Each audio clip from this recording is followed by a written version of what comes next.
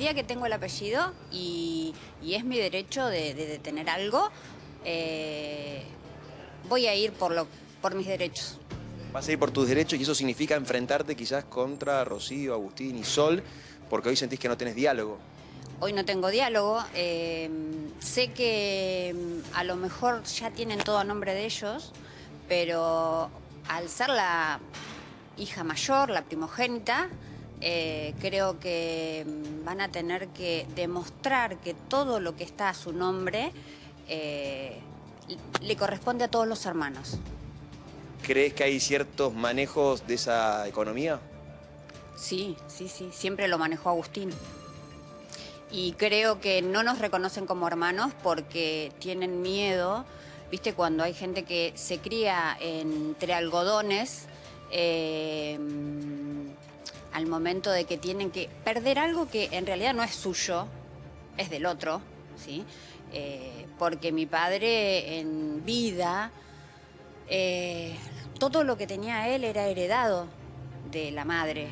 Creo que mi padre no De tu, abu- de tu abuela. vendría a ser de mi abuela, exacto. Eh, pero bueno, ahora mm, sale todo esto, me entero que hay todo eso, eh, pero no me pasa nada. ¿Vos sabés que no me pasa nada? O sea, y no, no me hice el ADN porque sabía que iba a haber una herencia, no. Yo me hago el ADN para cerrar una historia que, que quería cerrar. La única situación que me incomodó es eh, de no haberme dejado despedirme de mi padre eh, en su lecho de muerte, en realidad. Lo más cerca que estuve de mi padre fue cuando tuvimos que hacer la extracción para el ADN. Esa fue la, la última vez que estuve cerca de mi padre. ¿Quién te negó ese acceso? Eh, mis tres hermanos. Agustín, que salió enfurecido cuando yo llegué al hospital, a los gritos.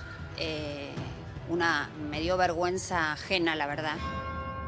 Como sabíamos que mm, mi padre ya estaba en su lecho de muerte, estaba sedado, eh, el juez eh, mandó a- a su secretaria y a un, un psiquiatra a ver si Marengo podía responder para, para poder sacarle la muestra de ADN.